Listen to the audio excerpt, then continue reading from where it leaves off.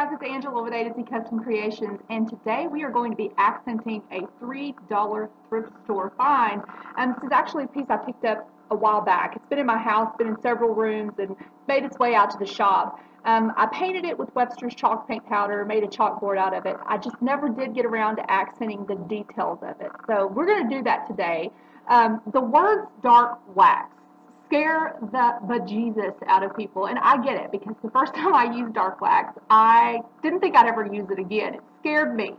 Um, there's a few things to remember when you're using dark wax. First of all, I'm using a natural wax today. It's 100% natural. It doesn't contain any solvents or byproducts or anything like that. So there, it doesn't dry really quickly. If you are using a solvent-based dark wax, going to dry really quickly.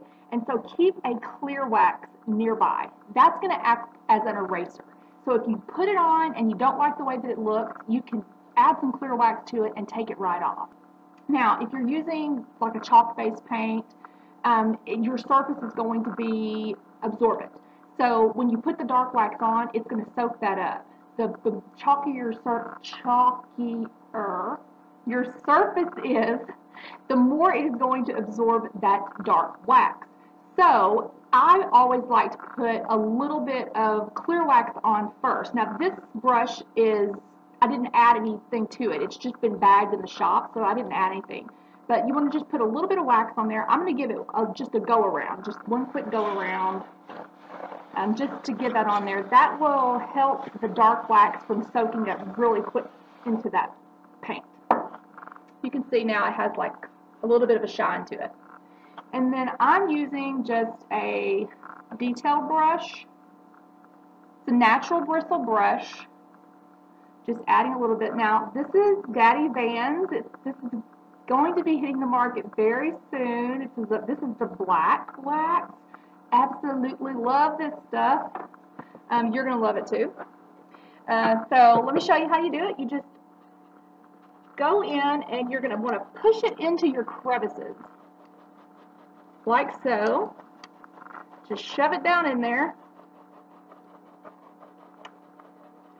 Now, I'm not wanting to like antique or age this piece. I'm just wanting to accent my details. So I'm wanting to get it down into those little crevices. And then I'm going to take my rag and go back and wipe off the high points.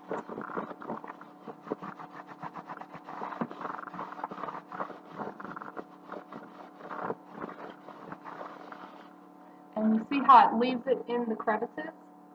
So I'm going to go around and do the whole piece like that.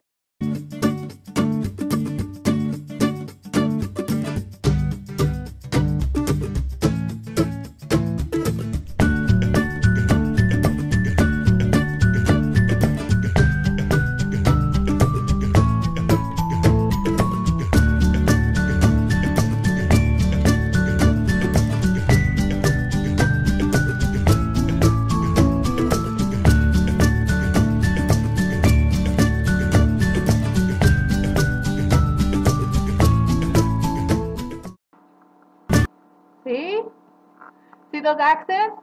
How they pop? Dark wax can be your friend. I'm telling you, it's really, really easy. Don't be afraid. Be fearless. Keep some clear wax nearby just in case you don't like the way it looks.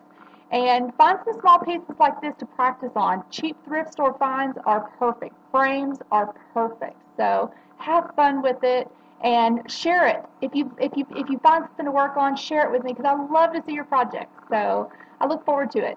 See you soon.